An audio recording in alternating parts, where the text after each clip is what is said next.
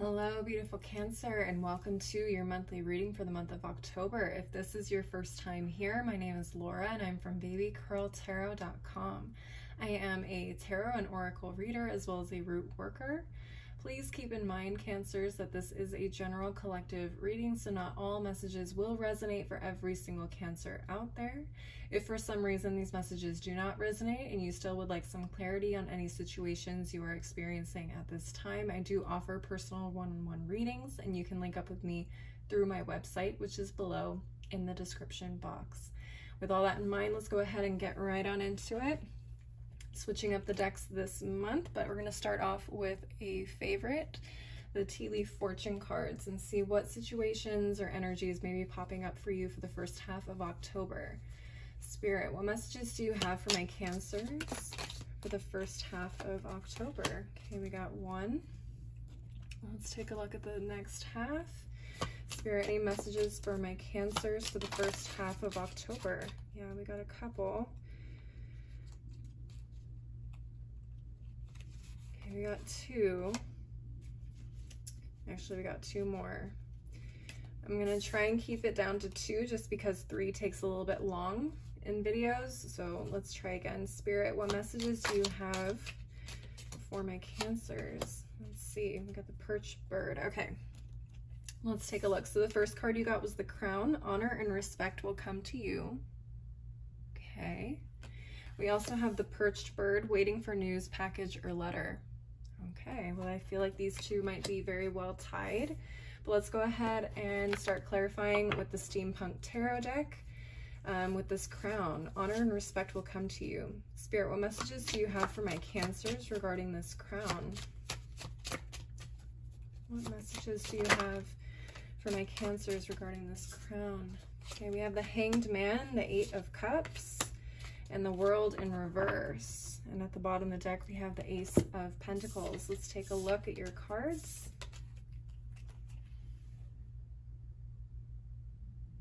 Beautiful, beautiful, beautiful.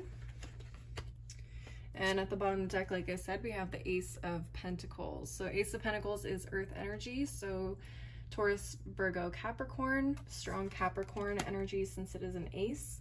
We also have uh, Saturn and Capricorn energy here with the world. We have Pisces energy with the Eight of Cups and more Pisces energy with the Hanged Man. Very interesting.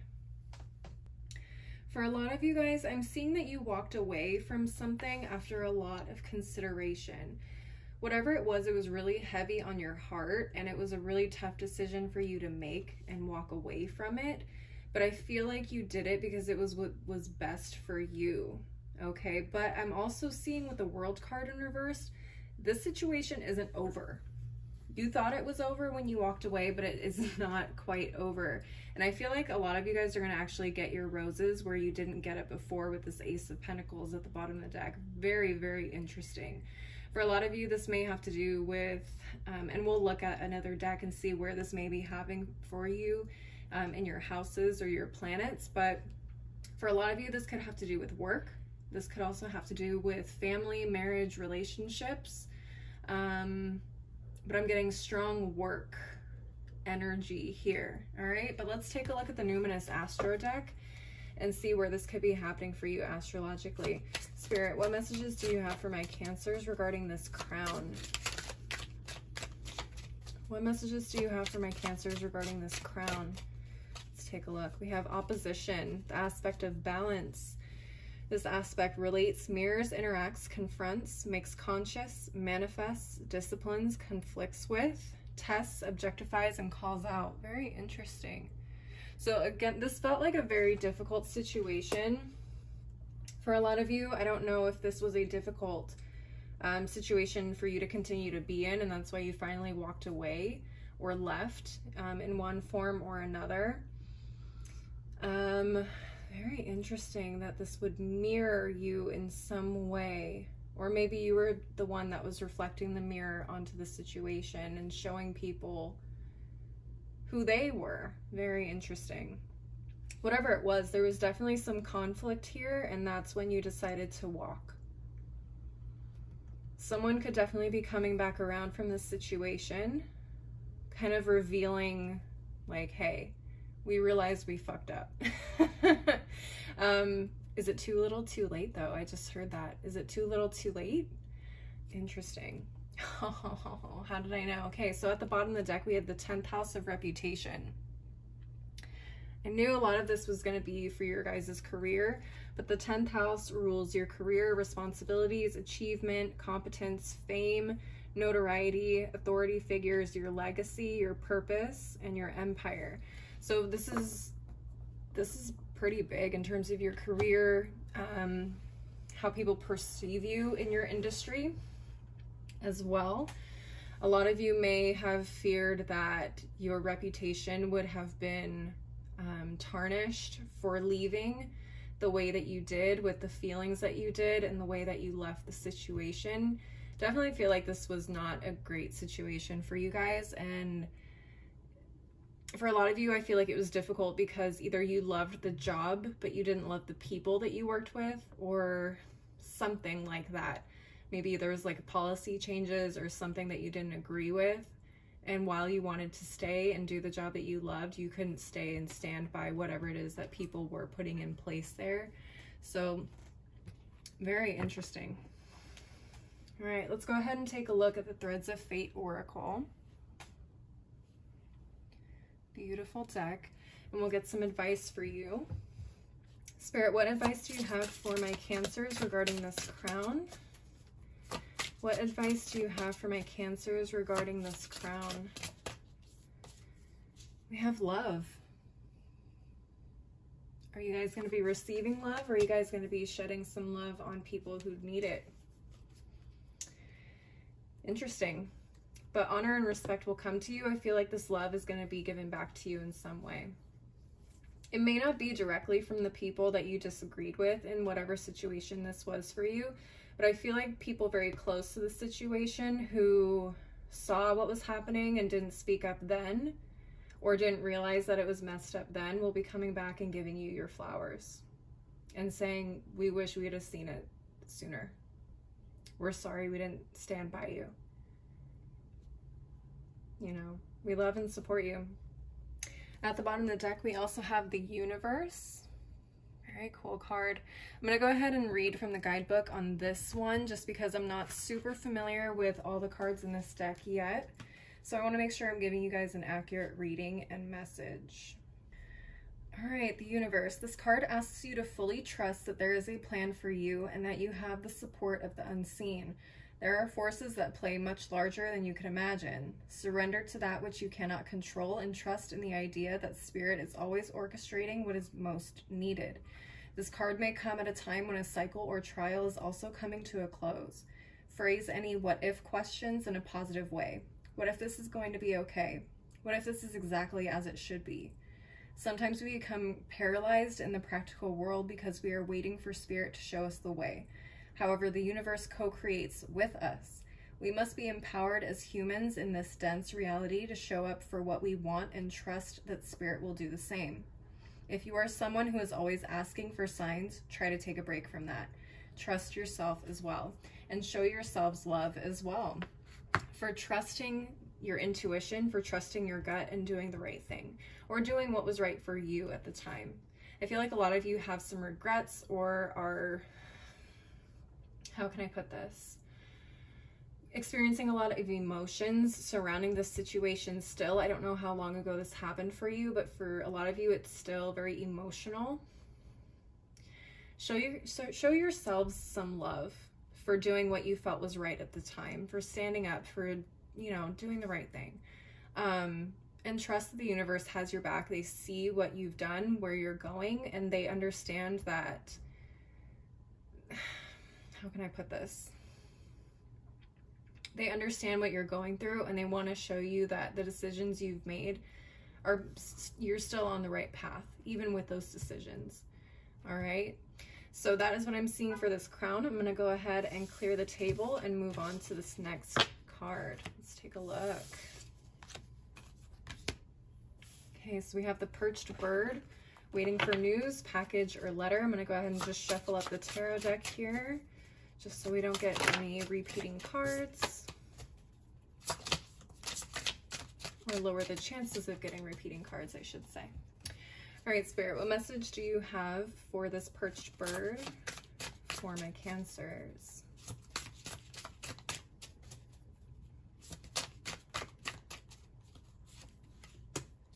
Okay, we have the Magician reversed, the Knight of Pentacles, and the Emperor. And at the bottom of the deck, we have the Ace of Pentacles again. Amazing. Oh, very interesting that that came back up at the bottom of the deck. For a lot of you guys, you may be getting a new job offer. For those of you that left a job in the previous reading, I do feel like these are very much tied in a lot of ways. For some of you, the honor and respect that's coming to you is through this job offer because I feel like other people around you recognize the situation you were in wasn't necessarily fair or right. And so they're seeing past, you know, whatever things may be going around about you. They may see right through the BS and they're coming through and offering you some sort of opportunity to continue doing what it is that you did in the past. Again, if this is an industry that you love, you just didn't like working with the a particular company or group of people, um, it feels like an opportunity for you to continue doing what it is that you love um, in a much, much better place.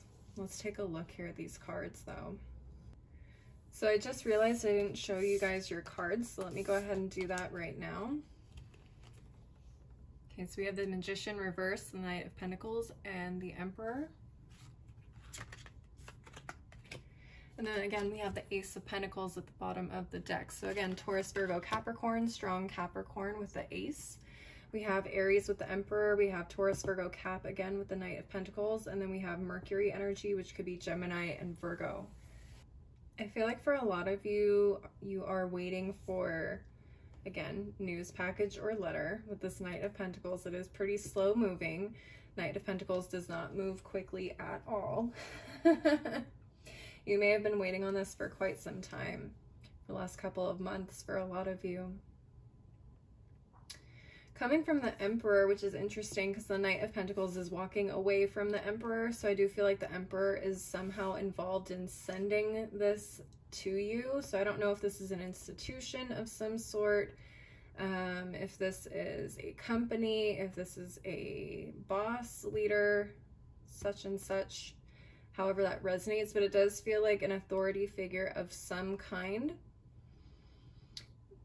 bringing you this news. And it feels like there's really nothing you can do in order to speed it up here with this magician in the reverse. It's kind of a, you're going to have to trust the universe and trust in divine timing. It's going to come when it comes, not when you want it to even if you're a really strong manifester, I don't know if there's anything you can really do to make this move any quicker for you. it's coming. It's definitely coming. A new opportunity is coming. It's just going to be a little slow, so don't be surprised, but hopefully by the beginning of October, that wait will be over, okay? Especially if you guys have already been waiting for months it can probably show up in October. If this is something fairly new for a lot of you guys, it's, not, it's probably not going to show up for a while. Okay, so just be prepared. Let's go ahead and take a look at the Numinous Astro deck and see where this could be happening astrologically for you guys. All right, we have the trine, the aspect of flow. This aspect harmonizes, aids, enriches, benefits, energizes, enjoys, eases, gifts, supports, and indulges. So we go from, what was it, the opposition in the last reading to the trine. So a little bit easier energy, more supportive, harmonious, beautiful energy. So you guys are definitely moving out of that place of frustration, difficulty into a much easier energy, which I love to see. At the bottom of the deck, we have the ascendant or the rising sign. Some of you guys may have Cancer rising as well as a Cancer sun sign. If you're checking your sun, moon, and rising signs and this is just your rising sign, then this is definitely meant for you. Okay, so the rising sign rules the worldview, mission statement, expression, attitude, outer self, point of view, body image, approach, and first impressions. So I feel like a lot of you may be Cancer rising, so this message is definitely for you. beautiful message so far. Let's go ahead and take a look at the Threads of Fate Oracle and get some advice for you guys. Spirit, what advice do you have for my cancers regarding this perched bird? Let's do one more shuffle. All right. We have the underworld. Interesting. All right, let's take a look at what this has to say in the guidebook. and look at that, we have the universe again at the bottom of the deck. Yeah, this is definitely not happening on your timing. All right, let's take a look at this underworld card though and see what this has to say. If the underworld card comes to you, it is either an invitation to go within yourself or it serves as an acknowledgement of where you currently are. If you do not sense you are in the underworld, then this card is asking you to take a pause and allow the things that need to fall away to do so. If you are in the underworld at the moment, it can often feel like it is trial after trial, loss after loss. It may also feel empty and uncomfortable. The underworld is where we die and are reborn. It holds the fire of transformation.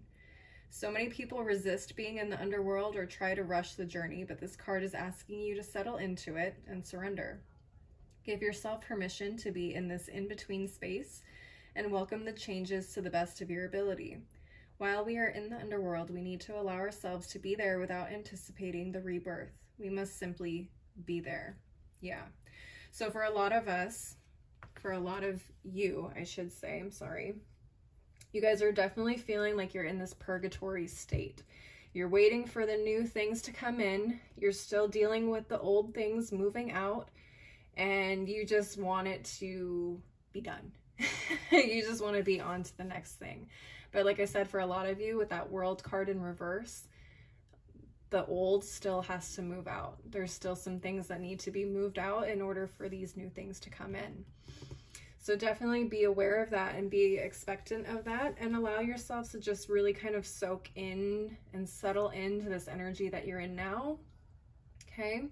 Um, there's definitely some things you need to learn right now. So taking time to pause and just contemplate where you are right now, um, understanding things that you've been through, will definitely help you prepare you for the future. So don't feel rushed. Don't feel like you are, you know, required to be able to jump and move forward um, like our society tends to push us to do. Sometimes taking a break is actually more beneficial than just jumping right back into the action. So enjoy this time as much as you possibly can. All right, Cancers, that is what I'm seeing for you guys for the first half of October. Please leave a like and a comment if this resonated for you. And don't forget to subscribe if you want to see more videos like this. I do monthly and mid-monthly readings as well as occasional pick-a-cards. If you'd like to follow me on my other socials like Instagram and TikTok, that information is below in the description box along with my website in case you want to schedule a personal one-on-one -on -one reading with me. As always, thank you so much for watching. I hope you guys have a beautiful start to your October, and I hope to see you next time. Bye!